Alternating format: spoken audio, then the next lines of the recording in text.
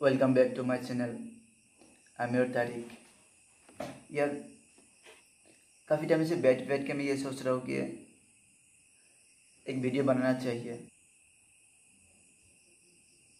तो इसलिए मैंने सोचा कि एक काम किया जाए। दो सर शायरी आप लोगों से शेयर किया जाए। मिर्ज़ा अब्दुल्ला खान गालिब का ये शायरी है। और मुझे वो इंसान बहुत अच्छे लगते हैं।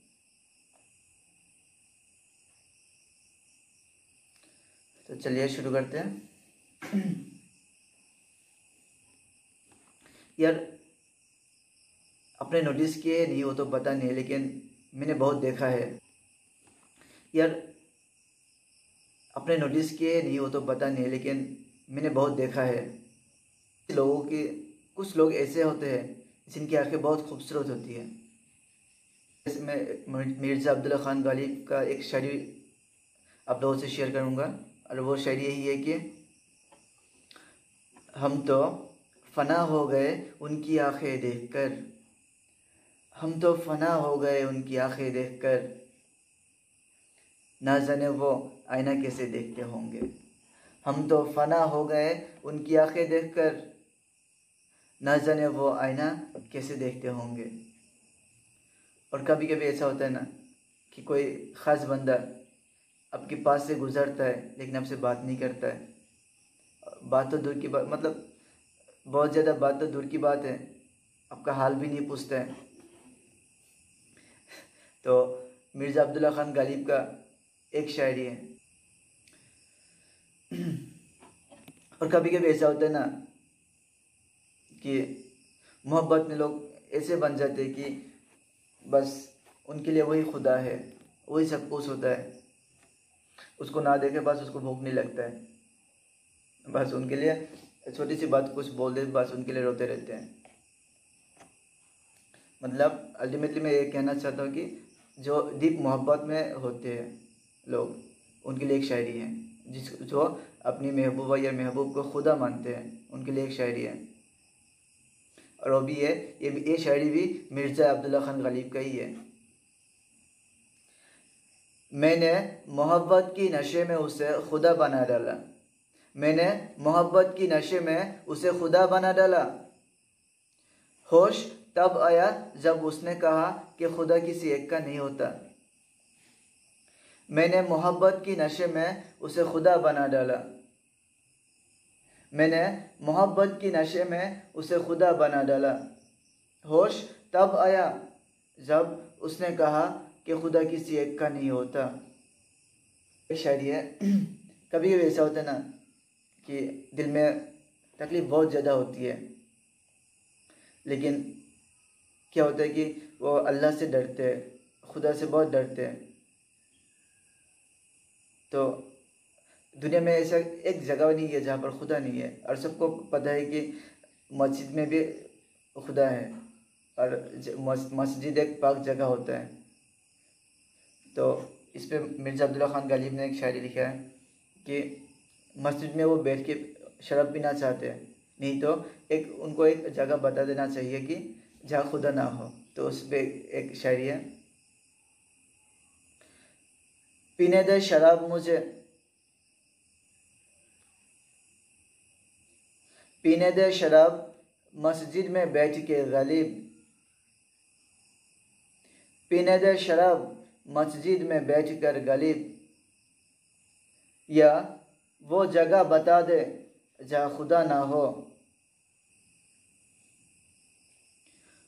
और कभी कभी ऐसा होता है ना कि हम जिन पर बहुत ज़्यादा यकीन करते हैं एक्चुअली वो यकीन का लायक ही नहीं होता। मतलब बंदा बिल्कुल ख़राब होता है। हम जिस, जिन पर बहुत ज़्यादा यकीन करते हैं, वो बंदा बिल्कुल ख़राब होता है। तो उनके लिए एक शायरी है, ये भी मिर्ज़ा अब्दुल्ला खान गरीब का ही होती है। हमको उनसे वफा की है उम्मीद। हमको उनसे वफा की है उम्मीद, जो नहीं जानते वफा क्या है। हमको उनसे वफा की है उम्मीद। हमको उनसे वफा की है उम्मीद जो नहीं जानते, वफा किया है।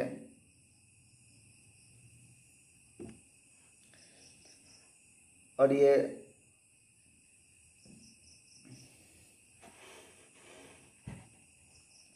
और एक बात है, दुनिया में अक्सर ऐसे ही होता रहता है,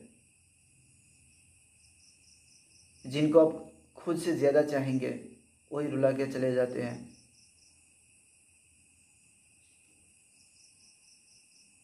जो गलत बंदे होते हैं इस दुनिया में, वो अक्सर मीठी मीठी बातें करते रहते हैं।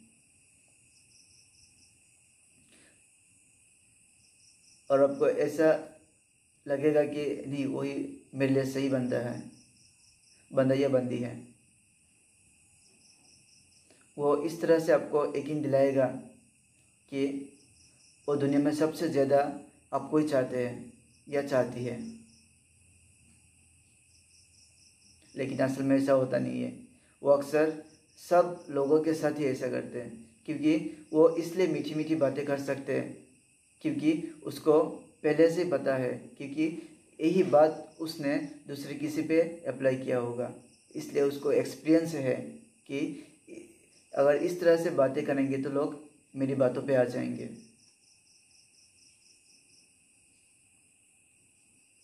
और क्या होगा लास्ट में? आप उसको दिल दे देंगे।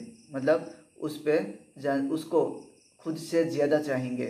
सबसे ज़्यादा चाहेंगे। दुनिया में सबसे ज़्यादा उसको चाहेंगे। और वही बंदा लास्ट में क्या करता है?